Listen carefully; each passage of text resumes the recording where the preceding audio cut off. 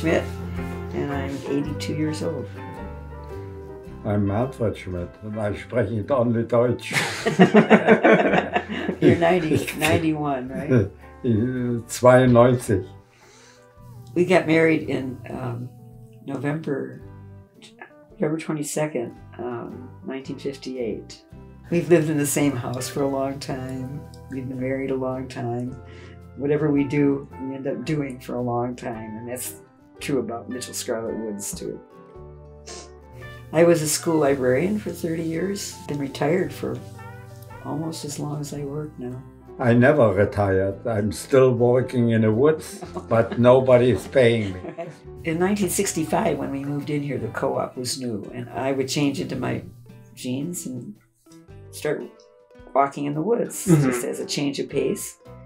Um, and um that was, you know, I didn't know anything about that woods. I didn't know who owned it, hmm but it was right out, you know, just right out the back door or the front door and, uh, you know, around the corner. Yeah. And it was just very enticing. One day we did go in the woods and took a walk and we saw the developer, uh, the, not the developer, but the uh, Well, surveyors. surveyor Surveyors. in there cutting already some trees down and marking it. Mhm. And so we Yeah. want to find out what was going out and who owned it. and uh, who owned it. And then we found out the school want to build a high school in For there. the- there there was a lot of building going on, and so Mhm. people were losing spaces that they had become accustomed to using to development. There was something cool about all these people living close together, but having the woods as an outlet. hmm And people, um, when they thought it was endangered, really rallied. So we Mhm. got we rallied people in the schools. Our daughter was going into Mitchell. We The- did our PR. You Yeah. we, we We- did a good job. We took job. people on Talk. walks in the woods. We did birdathons to raise money. And I got called the school board up and he says, We didn't know there's it's a wood here. And he says, We won't touch it. There will be stay. And he brought it up at the ninth meeting and they canceled all the stuff. And says Manfred, it's yours.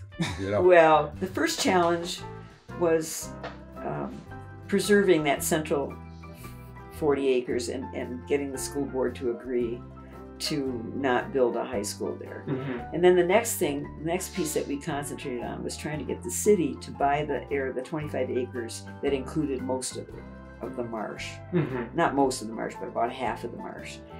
And once we got those things done, the last 25 acres took us 25 years to get. We didn't know what we were I doing. We had like- no idea. We would never, never have started, I think, if we thought it would take 50 years. we probably never would have. We wouldn't Right. have been. We wouldn't have had the guts to start. Now, he Yeah. might have, but I probably would have given up. The But- fact is that instead of the housing there and people living close, more people living close together, there is a getaway. And Mhm. that was amazing during the pandemic. People Yeah.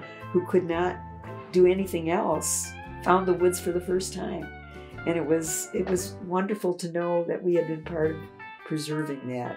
And, and and we didn't realize in the beginning that we were part of a movement, Right. but we really were. Yeah. Uh, and just thinking, if you love a place, um,